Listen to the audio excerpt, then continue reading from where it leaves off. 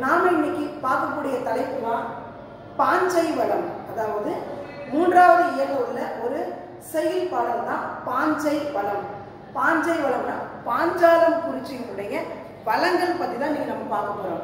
அதாவது வீரபாண்டிய கட்டபொம்மன் ஆட்சி செய்யக்கூடிய பாஞ்சாலம் குறிச்சியின் அந்த உள்ள பகுதிகள் நிலப்பகுதியாக இருக்கட்டும் ஊர் இடங்களா இருக்கட்டும் தெரு வாசல்களாக இருக்கட்டும் எப்பேற்பட்ட ஒரு குணாதிசயங்களை உடையன அப்படிங்கிறத நமக்கு பாடல்ல மிக விரிவாக விளக்கமாகவும் கொடுத்துருக்காங்க. பொதுவாகவே தமிழ்நாட்டில் பல வகையான நாட்டுப்புற பாடல்கள் அதாவது கிராமங்களான நாட்டுப்புற பாடல்கள் நிறைய நம்ம கேள்விப்பட்டிருப்போம். இன்றும் கூட அவங்களோட வேலை வேலைப்பளவு குறைக்கிறதுக்கு அந்த பாடல்கள் வந்து அந்த அந்த கிராமப்புறத்தினுடைய வடிவத்திலேயே இருக்கும். அந்த நாட்டுப்புற பாடல்களில் பெரிதும் என்னென்னா கதை பாடல்கள் அப்படின்னு ஒன்று இருக்கும். என்ன சார் அப்படின்னு பார்த்தீங்கன்னா கதை தழுவிய நிலையில் இருக்கக்கூடிய பாடல்கள். பாடலாக தான் இருக்கும் ஆனால் அதுக்குள்ள கதைகள் இப்போதான் இருக்கும். அதே போலதான் இங்க என்ன சொல்றாங்கன்னா இதுவும் கதைப்பாடல் தான் அப்படிங்கிறாங்க. பொதுவாக கதைப்பாடல் சமூக கதைப்பாடல் வரலாற்று கதைப்பாடல் புராண கதைப்பாடல்னு நிறைய பல வகைப்படும். இங்க என்ன சார் கதைப்பாடல் இருக்குன்னு பார்த்தீங்கன்னா பாஞ்சாலம் குறிச்சினுடைய அதாவது வீரபாண்டிய கட்டபொம்மனுடைய வரலாறு அதாவது அந்த அவர் இருக்கக்கூடிய அந்த வளமான பகுதிகள் எப்படி இருந்ததுன்னு பல வகையான நூல்கள் சொல்லுச்சு. பல வகை நூல் பல்வேறு வடிவங்களோட சொல்றாங்க. நமக்கு என்னன்னா நான் வானமா மாலை அப்படின்னு அவங்க தொகுக்கப்பட்ட நூலை தான் நம்ம பார்க்க போறோம். அவருடைய அவர் சார்ந்த அந்த பாங்காலகுருஷனுடைய இயற்கை வளங்கள் எப்படி இருந்தன அப்படிங்கிறத கதை பாடல் வழியா நம்ம பார்ப்போம். பாருங்க. சுத்த வீர சூரன் கட்ட பொம்முத்துறை துலங்கும் பாஞ்சை வளங்கள் சொல்வேன். என்ன சொல்றாங்க? குற்ற குறையே இல்லாத வீரபாண்டிய கட்டபொம்மனுடைய பாஞ்சால அந்த ஆட்சி பொறுப்பில் இருக்கக்கூடிய பாஞ்சாலம் குறிச்சினுடைய வளத்தை நான் சொல்ல போறேன் அப்படின்னு சொல்றாங்க. பாருங்க நாட்டு வளங்களை சொல்லுகிறேன் பாஞ்சை கோட்டை வளங்களை கேளுமையா கோட்டைகளாம் சுத்து கோட்டைகளாம் மதில் கோட்டைகள் தான் கெட்டி வேலைகளாம். பாருங்க நாட்டு வளங்களை சொல்லுகிறேன் பாஞ்சை கோட்டை வளங்களை கேளுங்க. பாஞ்சாலம் குறிச்சி சுத்தி நிறைய கோட்டைகள். அந்த கோட்டைகள்லாம் எப்படி இருந்ததுன்னு பாருங்க. கோட்டைகளாம் சுத்து கோட்டைகளாம். அந்த எனது அந்த அரண்மனையா இருக்கட்டும் அந்த வந்து அந்த பாந்தலகுச்சியோடைய அந்த ஆச்சரியக்கூடிய அத்தனை பகுதியுமே கோட்டைகள் கூட நிறைய கோட்டைகள். அதுவும் சாதாரண கிடையாது. மதில் கோட்டைகள் தான் கெட்டி வேலைகளாம் மதில் கோட்டைனாவே என்ன இருக்கும் மதில் சுவர் இருக்கும். பெரும்பாலும் என்னன்னா கோட்டைகள்னாவே பெரிய பெரிய அரண்மனைகள் மதில் சுவர் இல்லாம நம்ம கட்ட மாட்டோம். நிறைய கோயில்கள்ல பழங்கால கோயில்லாம் பார்த்தீங்கன்னா முதன்மையான என்ன கட்டுவாங்கன்னா கோயில் கட்டி முடிச்ச பிறகு முதல்ல மதில் சுவர். ஏன்னா மதில் சுவர் வந்து அதை தாண்டி தான் ஒரு ஏதோ ஒரு எதிர்நாட்டு வந்து ஒரு படையெடுப்பாக இருக்கட்டும் இல்லை வேறு பல பல்வேறு காரணம் பொதுவாகவே அந்த பகுதிக்குள்ளுக்குள்ள இருக்கக்கூடிய ஒரு ஒரு ஒரு கோயிலா இருக்கட்டும் ஒரு அரண்மனை மாளிகை எது வேணாலும் இருக்கட்டும் சுத்திலும் ஒரு பாதுகாப்பு ஒரு வளையம் தான் பதில் சுவர். அப்போ அதுக்கே அப்படின்னா பெரிய பெரிய கோட்டைகளுக்கு கண்டிப்பா மதில் இருக்கத்தானே வேணும். அதான் சொல்றாங்க. அந்த பாஞ்சலம் குறிச்சிகளுடைய நிறைய கோட்டைகள் இருக்கு. அந்த கோட்டைகள் எப்படி இருக்கான் மதில் கோட்டைகள் தான் கெட்டி வேலைகளாம். அந்த மதில் மதில் கூட எப்படி?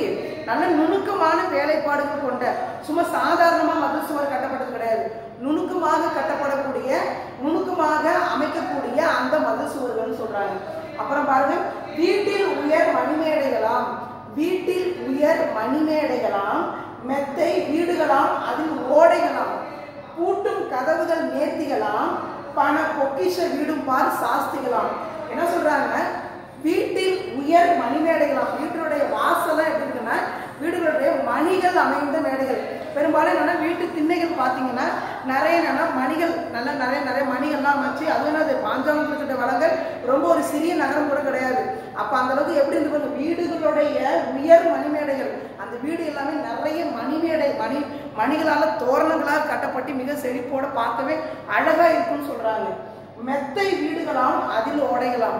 மெத்தை வீடுனா மாடி வீடு. அந்த மாடி வீடுலாம் என்ன சொல்றாங்கன்னா இது கூட அந்த வீடுகளை மாடி வீடா இருந்தாலுமே மதில் ஓடைகளாம் என்ன சொல்றாங்க? அது சுத்திலுமே காம்பவுண்ட் இப்ப நம்ம சாதாரணமாக மாடி வீடு கட்டுறோம். கட்டணம் சுத்திலும் காம்பவுண்ட் சுவர் கட்டுறோம் அதே போல அங்க இருக்கக்கூடிய பிரம்மாண்டமான வீடுகள் சுத்திலுமே நிறைய மதில் சுவர் கட்டியிருக்காங்க. மதில் சுவர் அமைச்சுதான் மாடி வீடு. அந்த மெத்தை வீடுனா மாடி வீடு. கட்டுவாங்க அப்படின்னு சொல்றாங்க. பூட்டும் கதவுகள் நேர்த்திகளாம் பண பொக்கிஷ வீடும் பாரு சாஸ்திகளாம். என்ன சொல்றாங்கன்னா பூட்டும் கதவுகள். பெரிய பழமையான வீடுகள்லாம் பார்த்தீங்கன்னா பெரிய பிரம்மாண்டமான கதவுகளாக இருக்கும். அதை நம்ம இழுத்து சாத்தவே ரொம்ப போயிட்டு இருக்கும். அந்த நிலை வாசலோட நிலைப்பகுதியே ஒரு பெரிய ஒரு தூணில் செஞ்ச மாதிரி இருக்கும். நிறைய நிறைய வேலைப்பாடுகள் அழகிய வேலைப்பாடுகள் கொண்டதாக இருக்கும். அப்ப என்ன சொல்றாங்கன்னா அந்த கதவு சாத்துற கதவு கூட மிக நேர்த்தியாக அமைக்கப்பட்டிருக்கு அப்படின்னு சொல்றாங்க.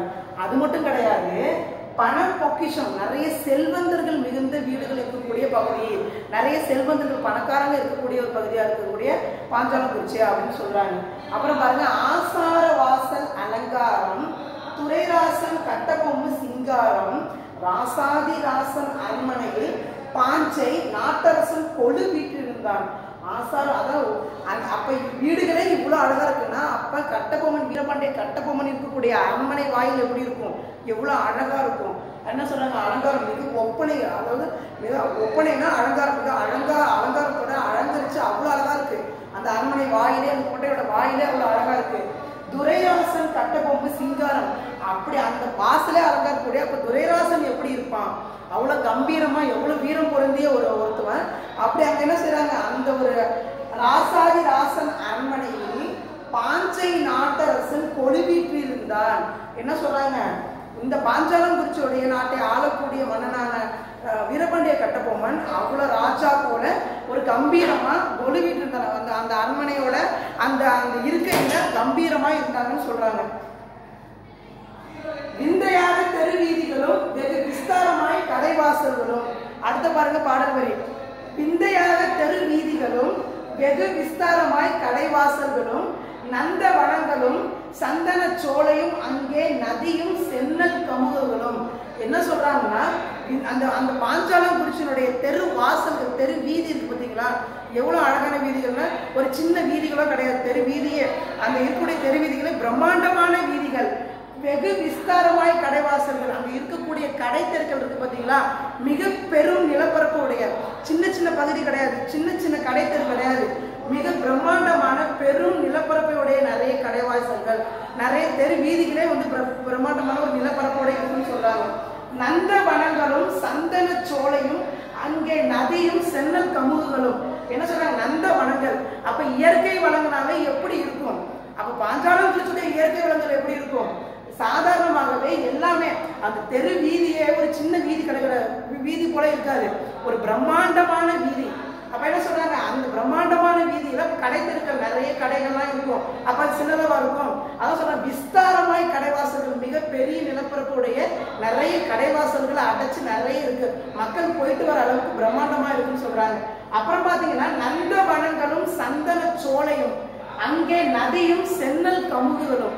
என்ன சொல்றாங்க? நந்தவனங்கள் அப்ப இயற்கை வளங்கள் செழிப்பா இருக்கக்கூடிய நந்தவனங்கள் நிறைய செடி கொடி நிறைய பூஞ்சோலைகள் நிறைய மரங்கள் காய்கனிகளை தரக்கூடிய அத்தனையுமே செழிப்பா இருக்கும். ஒரு ஒரு ஒரு ஒரு ஒரு நாட்டுக்கு வந்து மிக செழிப்புடையது நிலப்பரப்போ இல்ல மன்னனோ அரசனோ கிடையாது. அங்கே இருக்கக்கூடிய இயற்கை வளங்கள் அந்த இயற்கை வளங்களை தான் பாடலில் சொல்லியிருக்காங்க. பாருங்க சந்தன சொல்லி சந்தன மரங்கள் சூழ்ந்து எக்கச்சக்கமா இருக்குன்னு சொல்றாங்க. அங்கே நதியும் சென்னல் கமுகளும் அங்க என்ன சொல்றாங்க? நிறைய அங்க ஓடக்கூடிய ஆறுகள் நல்ல பிரம்மாண்டமாக நல்ல செழிப்பா ஓடணும். அந்த ஆறுகள் செழிப்பா இருக்கிறதுனால தான் அங்க நந்தவனங்களும் சோலைகளும் செழிப்பா இருக்குன்னு சொல்றாங்க. அப்புறம் பாத்தீங்கன்னா சென்னல். நிறைய நெல் கதிர்கள் விளையக்கூடிய பகுதிகள் இருக்குன்னு சொல்றாங்க. அப்புறம் கமுகு. கமுகுனா பாக்கு தோப்புகள். நிறைய எண்ணற்ற பாக்கு தோப்புகள் விளைஞ்சிருக்கு அப்படிங்கிறாங்க. அப்புறம் பாருங்க சாலை ஒரு புறமாய் பரிவளரும் சாலை ஒரு புறமாம் தோரண மேடை ஒரு புறமாம் தெரு சொக்கட்டான் சாலைகள் ஒரு புறமாம் சாலை வாரணம்னா யானை. அப்ப யானை போயிட்டு வரக்கூடிய அளவுக்கு அந்த ஒரு சாலை அதுக்குன்னே ஒரு சாலை இருக்கும் வரத்து கூட அந்த மாதிரி விஸ்த பெருசா இருக்கக்கூடிய பகுதிகள் இருக்கு. அது மட்டும் இல்லாம பரி வளரும் சாலை பரினா குதிரை. குதிரை வளர்த்துக்கு பொதுவாகவே கோட்டைகள்ல யானைக்கும் குதிரைக்கும் முக்கியத்துவம் கொடுப்பாங்க. ஏன்னா போர்கள்ல அதிகமா பயன்படுத்தக்கூடியது அதுதான். அதனால என்ன சொல்றாங்கன்னா பாஞ்சாலங்குறிச்சியில கூட யானைகளுக்கும் குதிரைகளுக்கும் நிறைய வசதிகள் செய்யப்பட்டிருந்தன. அது போயிட்டு வரதுக்கு தனி பாதைகளும் நல்ல ஒரு செழிப்பா இருக்கிறதுக்கு நிறைய வசதிகள் செய்து செய்து கொடுக்கப்பட்டிருக்கின்றன சொல்றாங்க. அப்புறம் தோரண மேடை ஒருபுறமா தெரு சொக்கட்டான். அந்த வீதிகளே சும்மா கிடையாது. நிறைய அலங்கரிச்சு அந்த வீதிக்கு நடந்து போகும்போதே அவ்வளோ அந்த வீதியை பார்க்கவே அழகா இருக்குன்னு சொல்றாங்க. நிறைய தோரண மாலைகள் கட்டி தொங்கப்பட்டிருக்கின்றன. அது மட்டும் கிடையாது தெரு சொக்கட்டான் சாரிகள். இன்னும் கிராமத்தில் சொல்றாங்க வரீங்களா சொக்கட்டான் விளாடுவோம் அப்படின்னு சொல்லுவாங்க. என்னடா சொக்கட்டான் அப்படின்னு கேட்டீங்கன்னா தாயம். தாயம் இல்லாம நம்ம கிடையாது. நிறைய கிராமத்துல முன்னோர்கள் விளையாடிய மிகப்பெரிய ஒரு பொழுதுபோக்கு விளையாட்டு தான் தாயக்கட்டை. தாய முன்னைக்கு கூட நம்ம நிறைய செல்ஃபோன்லாம் நீங்கள் நம்ம விளையாட ஆரம்பிச்சிட்டோம் லூடோன்னு சொல்லிட்டு. ஆனால் என்ன சொல்கிறாங்க அப்போ ஆரம்ப காலகட்டத்திலேருந்தே ஒரு பழமையான விளையாட்டு தாயம். அப்போ என்ன சொல்கிறாங்க தாயம் விளையாடுற மக்கள் கூடக்கூடிய இடங்கள்ல நிறைய பொழுதுபோக்குக்காக நிறைய பேர் என்ன சொல்லுவாங்கன்னா தாயக்கட்டை தான் விளையாடுவாங்க. அப்படி என்ன சொல்றாங்கன்னா தாயம் விளையாடுறதுக்குன்னே ஒரு புறம் இருக்கு அப்படின்னு சொல்றாங்க. சோலையில் மாங்குயில் கூப்பிடுமா? பலம் சொல்லி மயில் விளையாடிடுமா அந்த பூஞ்சோலைகள்ல நிறைய குயில்களும் பறவைகளும் கூவுதான் புரியுதா? மாங்குயில் மாங்குனா ஆனது அழகான குயில் வந்து ஒரு அந்த சவுண்டே குயிலோடைய இசையை நமக்கு நமக்கு தெரியும். அந்த குயில் இசையில மயங்குற அளவுக்கு நிறைய பறவையினங்கள் குயில் இசையில் கேட்குது வளம் சொல்லி மயில் விளையாடிடுவாங்க என்ன சொல்றாங்க? எங்க பாஞ்சால நாட்டுடைய வளத்தை பத்தி தெரிஞ்சுக்கணும்னு சொல்லிட்டு மயில் நடனம் ஆடுறதுங்களா அது இயற்கையவே நடனம் ஆடுது. ஆனால் இந்த நாட்டுடைய வளர்த்து சொல்லி தான் நடனம் ஆடுதுன்னு நல்ல அழகா சொல்லியிருக்காங்க. அன்பு வளர்ந்தேரும் பாஞ்சாலம் நாட்டில் சில அதிசயம் சொல்கிறேன் கேளுமையா? இந்த பாஞ்சாலம் இவ்வளோ வழக்கு சொல்லிட்டேன். சில அதிசயங்கள் இருக்கு. அதை நீங்க கண்டிப்பா கேட்கணும். அது என்ன அதிசயம் அப்படிங்கறத பாருங்க அடுத்த பாடல் பார்ப்போம் என்ன சொல்றாங்கன்னா அதிசயம் இவ்வளோ இயற்கை வளங்கள் இருக்கக்கூடிய இந்த பாஞ்சாலம் குறிச்சி கோட்டையில அந்த சூழ்ந்துள்ள இந்த பகுதியில இன்னும் ஒரு அதிசயம் நான் சொல்ல போறேன் என்னன்னு கேளுங்க. முயலும் நாயை விரட்டிடுமானால் நல்ல முனையுள்ள பாஞ்சால நாட்டிலே பசுவும் புலியும் ஒரு துறையில் வந்து பால் குடிக்கும் தண்ணீர் தான் குடிக்கும். எவ்வளவு அழகா சொல்றாங்க பாருங்க ஒரு அதிசயம் நடக்குது. அது என்ன அதிசயம் பாருங்க. முயலும் நாயையும் விரட்டிடுமாம் நல்ல முனையுள்ள பாஞ்சால நாட்டினிலே. என்ன சொல்றாங்க? தன்னை விரட்டி வரக்கூடிய நாயை கூட முயலானது விரட்டுமா?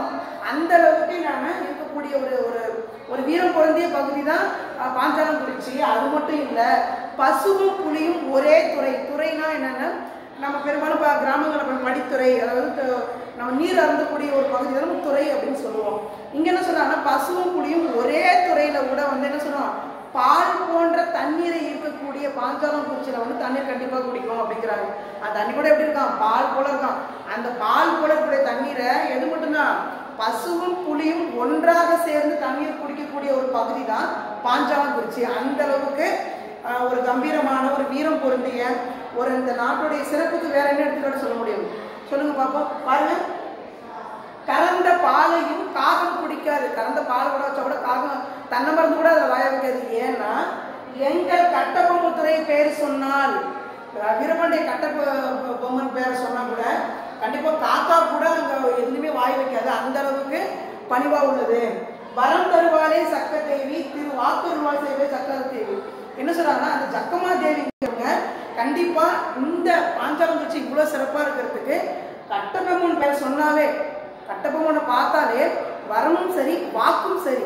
உடனடியே தருவா. அந்த கடவுளாகிய வந்து அந்த கட்டபொம்மனுக்கு வந்து கேட்டதெல்லாம் உடனே அளிக்கக்கூடியவள் தான் கடவுள். அதனால சொல்றாங்க அந்த கட்டபொம்மனுக்காக கண்டிப்பா வரம் தர என்ன வேணாலும் வரம் தரலாம். என்ன வேணாலும் வாக்கு கொடுக்கலாம் அப்படின்னு சொல்றாங்க. அந்த அளவுக்கு இந்த பாஞ்சாலம் குறித்து சிறப்பு வாய்ந்த ஒரு பகுதி. இந்த பாடல் தான் நமக்கு கொடுத்துருக்காங்க. இந்த பாடலை பொறுத்த வரைக்கும் கதை பாடல் வழியா இருக்கிறதுனால பல்வேறு நூல்களில் வீரபாண்டி கட்டபொம்மன் வந்தனுடைய கதை வந்து பல்வேறு வடிவங்கள்ல பல்வேறு நூல்களில் சொல்லியிருக்காங்க. அதையெல்லாம் ஒன்னா தொகுத்து தான் நான் வானமா மாலை அப்படின்னு இது வந்து நல்ல வீரபாண்டிய கட்டபொம்மன் கதை பாடல் அப்படிங்கிறதுல எடுத்து நமக்கு ஒரு பாடல் கொடுத்துருக்காங்க. அதாவது நிறைய எல்லாரும் சொன்ன ஒரு கதை தொகுப்புல இருந்து ஒரு செலக்ட் பண்ணி தான் அது ஒரு தொகுத்து தான் இந்த ஒரு கதை பாடலாம் நமக்கு வந்து க- பாடல் வழியே கதையை சொல்லியிருக்காங்க.